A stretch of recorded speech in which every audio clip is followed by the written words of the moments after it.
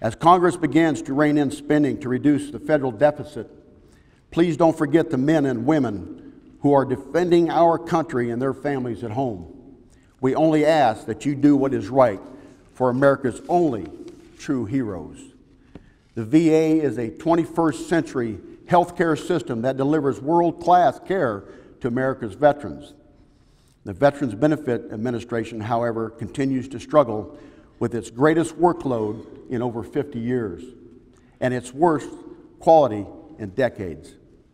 Currently, the number of veterans awaiting claims uh, decisions totaled nearly 1.5 million, an increase of nearly 40% in just one year. The seeds of today's processing problems were sown decades and stemmed from several problems. Inadequate staffing through 1980 and 1990s directly impacted production. Late budgets forced managers to choose quantity over quality, which helped contribute to the error rates that the VA admits 17%, within some regional offices, can exceed one in three.